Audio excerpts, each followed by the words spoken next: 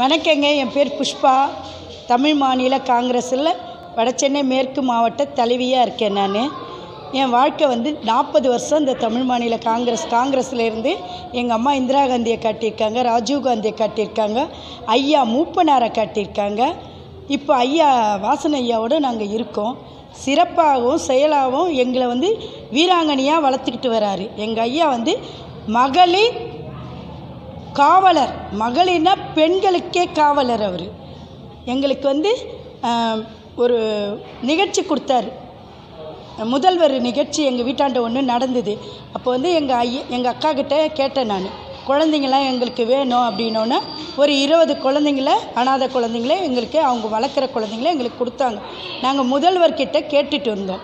அப்போ வந்து உடனே அது ஸ்பாட்டே கிடையாது இறங்கினார். இறங்கி பறவை இது நாங்கள் சமாதான புறாவை கொடுத்தோம். அவர் விட்டார் அந்த குழந்தைங்கள ஆசீர்வாதம் பண்ணார். அந்த சீல்டை இன்றைக்கி நான் சாதனையாளராக ஏஞ்சலுங்களில் அன்னைன்னு அவங்களுக்கு நான் கொடுத்துருக்கேன். அவங்களுக்கு வந்து இதை விட அதிகமான அன்னை தெரேசா இடத்துல அவங்க இருக்காங்க. ஏன்னா அந்த அம்மாவோட வளர்ந்தவங்க அவங்க ஹாஸ்டலில் இவங்க இருந்தும் அவங்கக்கிட்ட அவார்டு வாங்கினவங்க. அவங்கள மாதிரி சாதனை இனி எந்த பெண்ணாலும் செய்ய முடியாது. தனக்காக எதுவுமே வச்சுக்கல ராணி. வீர வீரப்பெண்மணி. சிங்கப்பெண்ணுன்னா அவங்க தான் அது சிங்கப்பெண். அவ்வளோ பெரிய சாதனையால் தனக்காக அள்ளி கொடுத்து எல்லாரையும் அள்ளி அள்ளி வாரி இறைச்சாங்க. அவங்களுக்கு வர வருமானத்தோட நிறைய செலவு பண்ணுவாங்க. எல்லாருக்குமே எல்லாமே செய்வாங்க. அவங்கள அவங்களுக்குன்னு எதுவுமே வச்சுக்கல.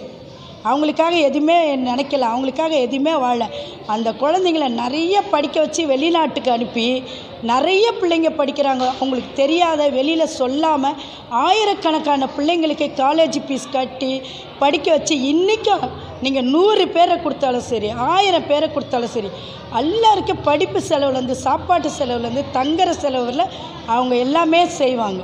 யார் வேணாலும் அவங்கக்கிட்ட உதவிகரம் நீட்டலாம்.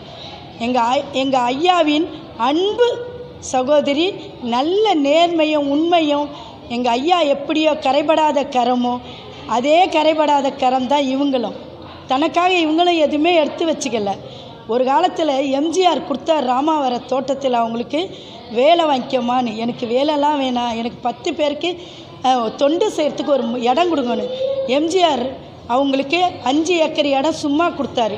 இன்றைக்கி ஐம்பதாயிரம் பேர் ஒரு லட்சம் பேர் அதை வச்சு சாப்பாடு போட்டு தங்க வச்சு அவங்களுக்கு அவ்வளோ வாழ்நாளில் எல்லாருக்கும் என்ன வேணுமோ செய்கிறாங்க இன்றைக்கி யார் வந்தாலும் அவங்க வந்து அணைச்சி பிடிச்சி தாய்க்கு தாயா தெய்வத்துக்கு தெய்வமாக அன்புக்கு அன்பாக அவங்கள மாதிரி சேவை செய்யவோ அவங்கள மாதிரி வாரி கொடுக்கவோ யாராலையுமே முடியாது. தனக்காக தன் பிள்ளைங்களுக்காக சேர்த்துக்குவாங்க. அவங்களுக்கு அந்த மாதிரி எண்ணமே கிடையாது. தனக்காக ஒரு ரூபாயோ தனக்காக ஒரு ஆசைப்பட்ட பொருள் கூட இன்ன சாப்பிட்டது கிடையாது.